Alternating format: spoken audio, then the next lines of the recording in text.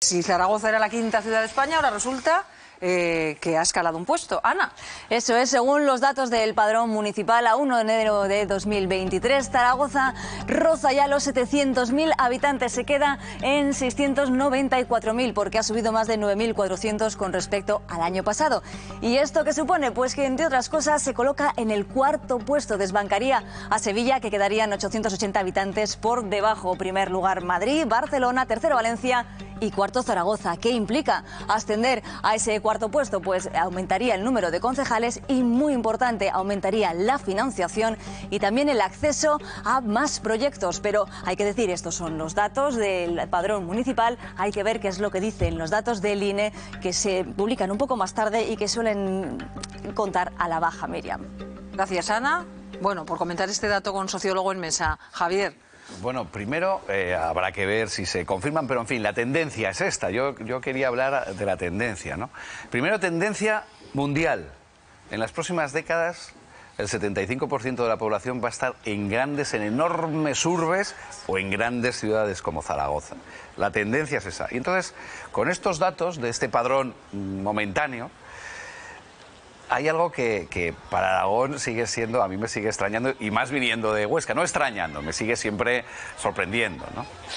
Eh, la población de Aragón gener, general es 1.315.000, somos 1.315.000 aragoneses. Bueno, el 53% de ellos viven en la ciudad de Zaragoza. O sea, de toda una comunidad autónoma, el 50, más de la mitad de esa población vive en una sola ciudad. Ese es un dato, pero ojo, es que el 74% vive en la provincia de Zaragoza. Para tres provincias, esto para los que venimos del extrarradio, que diría aquel, pues, pues siempre es llamativo, ¿no? La, la concentración. Pero claro, vuelvo a lo anterior. Es un síntoma de la sociedad del siglo XXI. Cada vez tendemos, equivocadamente, o no, pero como ser humano tendemos a concentrarnos en grandísimas urbes. Bueno, dos cositas que decidme porque tenemos que avanzar. Que no, no, no, no, es que estoy muy de acuerdo. No sé si queréis decir algo, Carmen, Nada. y Eduardo, que también quería decir, pero le voy a pedir un minuto. Eh, me- me- me- un segundo solo. Esperando los datos del INE, a mí me parece que, además de lo que estaba diciendo Javier, que es verdad que la situación no es lo mismo Madrid, Barcelona, Valencia que nosotros, que es que encima Madrid, eh, eh, en esta comunidad autónoma es que es muy extensa y el resto nos quedamos dos provincias ahí en la nada, en una- de una manera residual. Y eso es muy preocupante. O sea, enhorabuena Zaragoza, pero eso es muy preocupante para la gestión de los servicios públicos en las zonas rurales y en las otras dos provincias porque sale muchísimo más caro.